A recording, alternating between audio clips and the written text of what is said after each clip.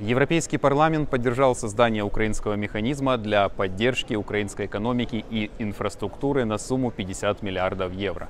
Во время дебатов перед голосованием депутаты говорили о важности этого решения.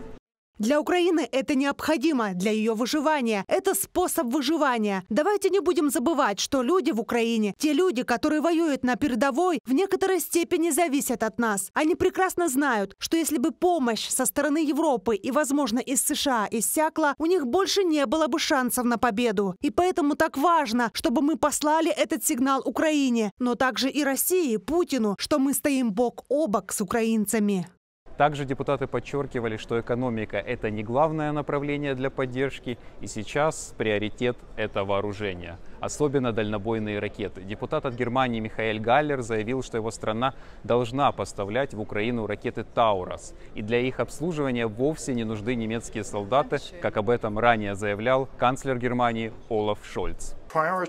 Приоритеты сейчас – боеприпасы и ПВО, и действительно ракеты большой дальности. Чтобы сломить гегемонию агрессора, мы должны наконец добиться того, что в Евросоюзе оружие европейского производства не направлялось в третьи страны, а направлялось в Украину. Если канцлер Германии говорит, что он не будет отправлять немецких солдат, потому что ракетный комплекс «Таурус» должны настраивать немецкие солдаты, то это нонсенс, потому что ни одному немецкому солдату не приходилось ехать в зарубежные страны для установки установки ракетного комплекса «Таурус».